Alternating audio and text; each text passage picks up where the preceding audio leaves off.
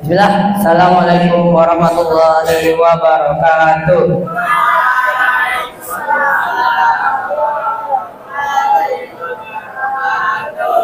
Alhamdulillahirabbil wa bihi ala umuri dunya waddin wassalatu wassalamu ala asrofil anbiya wal mursalin. Wa ala alihi wa sahbihi ajmain. Amma First of all, let's pray and thanks into our God, Allah subhanahu wa ta'ala, who has been giving us some mercies and blessings. So we can stand and gather in this mosque in good condition and happy situation. Secondly, my peace and salutation always be given to our Prophet Muhammad sallallahu alaihi wasallam, who has guided us from the darkness to the brightness, from stupidity to the cleverness, from era to the Islam era. Thirdly, I don't forget to say thank you very much to the English teacher who has given me time to speak in front of you. In this time, I gonna do speech about how to be a good person.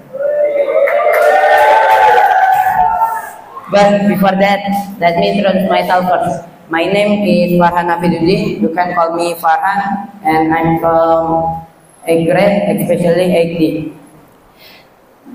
How to be a good person? The first step is you have to be kind to other people. For example, like uh, there is some guest survey from outside, and you can smile to them for make positive vibes. And the second is uh, you must be disciplined. Uh, example like your teacher gives you a project and you can do directly the project and uh, give the project in on time.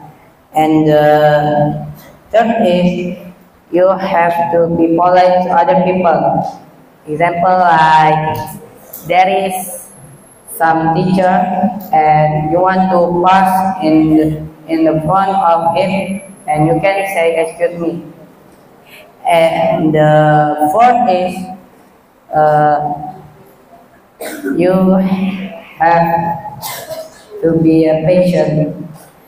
Example like uh, when you get punched from your friend, uh, you can istighfar and keep be patient for not take revenge.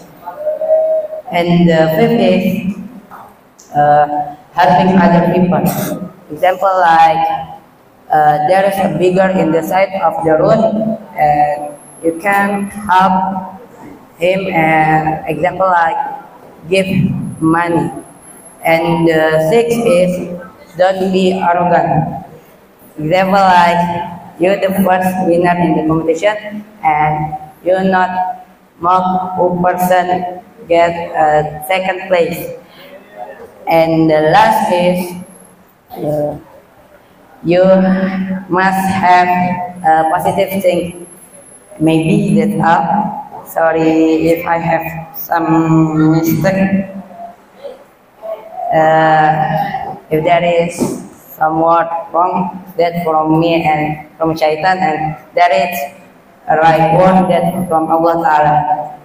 Maybe that's all from me. Sorry if I have some mistake. Last I said, Wassalamualaikum warahmatullahi wabarakatuh.